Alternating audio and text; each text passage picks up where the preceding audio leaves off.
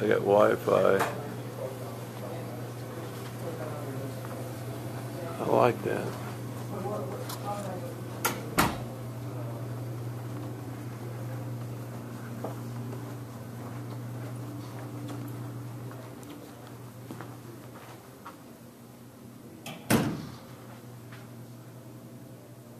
This is their used car showroom.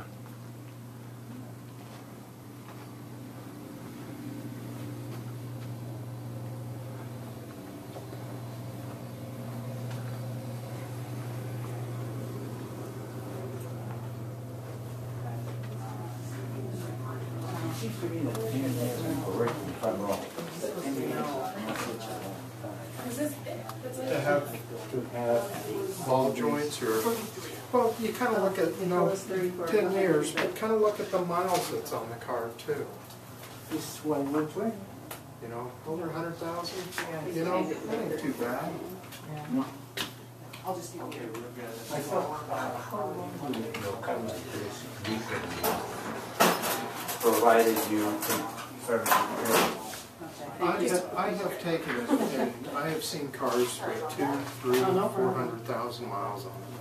I've even seen one that had over five on it. You know, it was an old diesel back in the day, it started, started with the danger anyway. Thank you. But the guy was so meticulous. Thank you so much.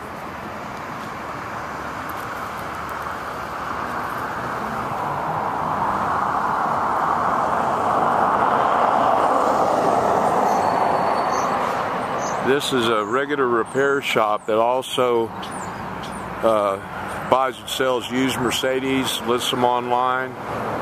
It's a high-end repair shop, but it looks uh, well worn back in the service department.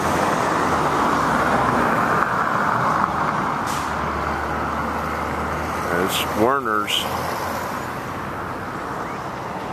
There you have it.